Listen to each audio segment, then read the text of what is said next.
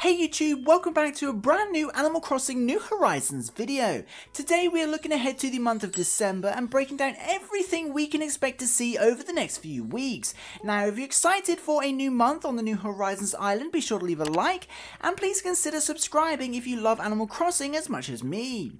Anyway, December is jam packed with content and events, so let's jump into it.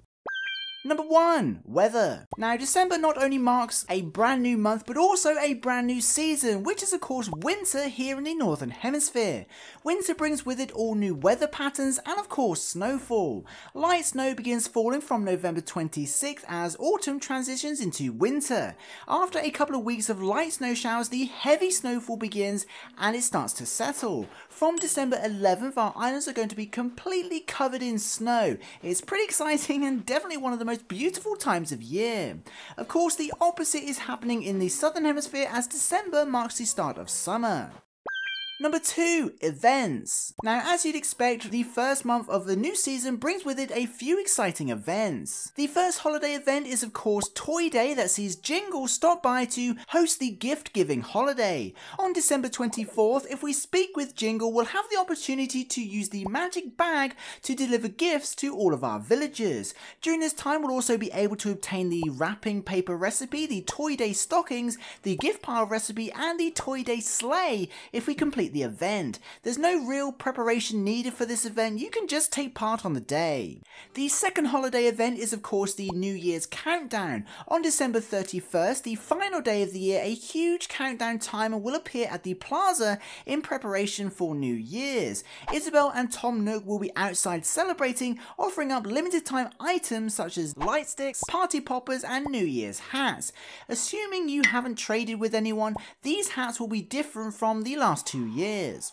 At midnight, all of the villagers will be at the plaza celebrating the new year and a fireworks show will take place. It's pretty awesome, you don't want to miss it. Plus, if this is your first ever New Year's in the game, there's even some Nook Miles in it for you. Now, before we look at some of the other changes coming in December, I'd very quickly like to thank today's sponsor, BenQ. Now, BenQ have sent me their Screen Bar Halo Light Bar for review, and if you game at a desk like I do, this is for you. The BenQ screen bar is a monitor light that flawlessly clamps to monitors. By doing so, it illuminates your desk space without causing reflections or screen glare. The screen bar halo also includes a backlight that eliminates the contrast between your monitor and the rest of your workspace. However, probably the coolest thing is the wireless controller that allows you to adjust both the brightness and color temperature levels. It's beyond satisfying to use. Altogether, this saves space if you already use a lamp and creates a far more comfortable and well lit area which helps reduce eye strain. Now for my honest opinion this is an incredibly ergonomic solution if you work or game at desks for long periods. It's easy to set up, an excellent space saver and I actually didn't realise I needed one until my entire desk was properly illuminated. I actually can't find a flaw with it. It's practical and looks cool. So thank you to BenQ once again if you're interested in checking out the Screen Bar Halo Light Bar for your gaming setup or monitor, I'll leave some links below. Now back to New Horizons. Number 3. Seasonal Events. Now, alongside the holiday events, December has a bunch of seasonal events to enjoy. These are broken down into three categories, the solstice, New Year's Eve, and New Year's Day. The winter and summer solstice, depending on which hemisphere you're in, can be celebrated from December 15th through to December 22nd, and several items can be obtained from the Nook Stop.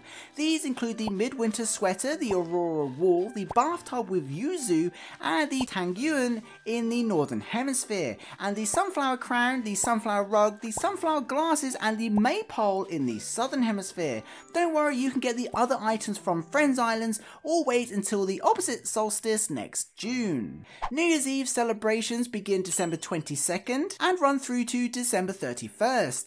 This celebration honours several real world holidays from various regions and adds a bunch of New Year's Eve items including the New Year's noodles, the Berliner, the 12 grape dish, the Olivia salad and the sparkling cider or fizzy apple juice as is known in some regions. The New Year's Day celebrations begin at the same time December 22nd but run longer with items being available until January 5th. Again celebrating New Year's in many regions, the items available include the Kadomatsu, the Kagami Mochi, the New Year's Shime Kazari, the Otoshi Dama envelope, the Osechi, the Yacht Nori, and the Zodiac figurine, which should be the rabbit this year, I believe. As of this recording, there's no sign of a 2023 celebratory arch, but if one is added between now and then, it will be available at the same time. Number 4. Seasonal Materials. Now as you can tell December is already a pretty busy month with a bunch of events, seasonal celebrations and of course snow, but it's about to get even busier because several new crafting materials are about to begin spawning. The acorns and pine cones continue to spawn during the light snowfall but will stop once the snow settles and heavy snowfall begins which is around December 11th. Once snow has settled, snowflakes start spawning in their place and can be caught using These can be used to craft items from the small snowflake series such as the snowflake wreath, the snowflake wall and the snowflake pochette amongst others. Their corresponding seasonal recipes can be found from balloons and bottles. Both these snowflakes and their recipes will continue to be available through to February 24th. After a few days of heavy snow, the cedar trees are decorated with lights and the red, blue and gold ornaments begin spawning. These are used to craft items from the festive series including the illuminated present and the giant ornament amongst others. These items along with their ornament recipes can be found from December 15th through to January 6th so much less time than the snowflakes. Number 5, Snowboy. Now, Snowboy is, of course, the snowman character that makes an appearance when it snows, and he actually introduces another seasonal craft material and another furniture series. From December 11th through to February, we can roll and merge snowballs to create a Snowboy. If you make a perfect Snowboy, which is easy to do if you follow the guide on screen now, you earn a large snowflake and a DIY recipe for an item from the Frozen series, which somewhat overlaps with the Snowflake series too.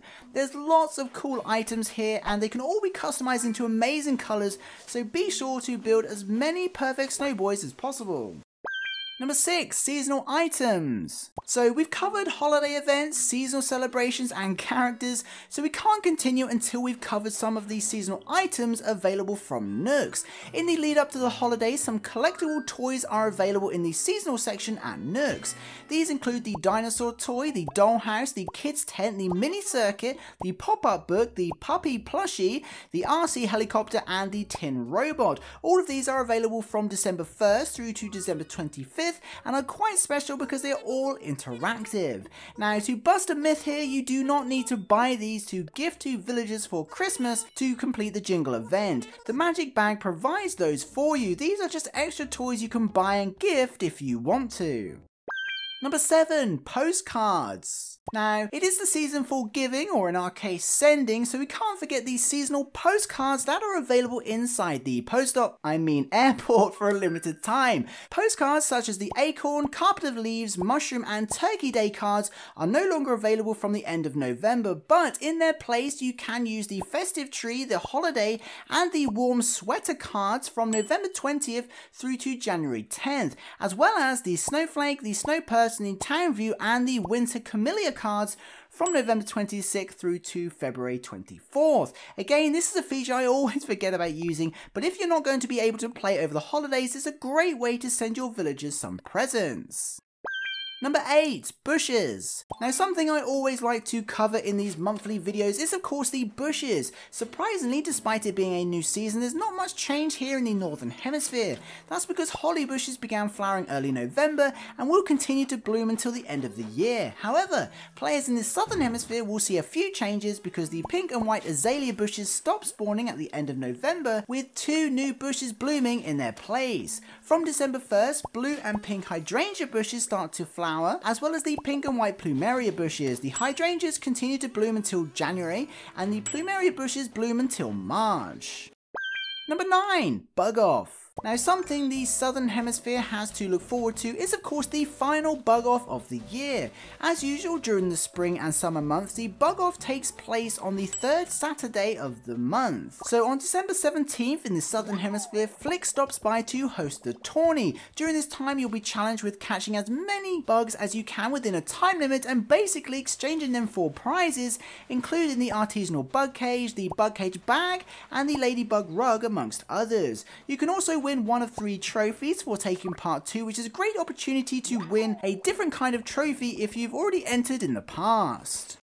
Number 10, Critters. Now you guessed it, it wouldn't be a monthly changes video without reminding players in both hemispheres that we have a new selection of bugs, fish and deep sea creatures to catch. Players in the northern hemisphere will encounter 9 new creatures, the most notable include the dung beetle, the stringfish and the lobster amongst others. Players in the southern hemisphere have it a little tougher given it's summer and will encounter 25 new critters. Blathers will be happy.